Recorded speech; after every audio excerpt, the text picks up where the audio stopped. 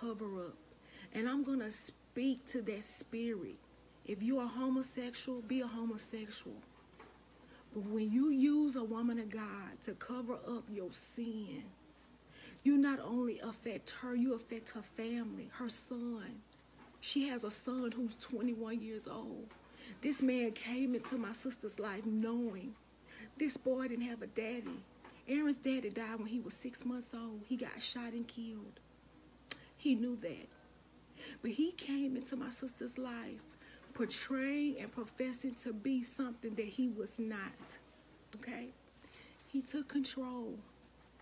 He tried to isolate her. He didn't want her to come to any family functions. That's what he did. Her life began to decline. Let me move forward. We gave him a woman who was relevant, which he was not. We gave him a woman who had a family who was very prominent, which he didn't come from.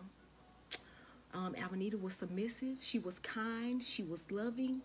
Um, she was very forgiving.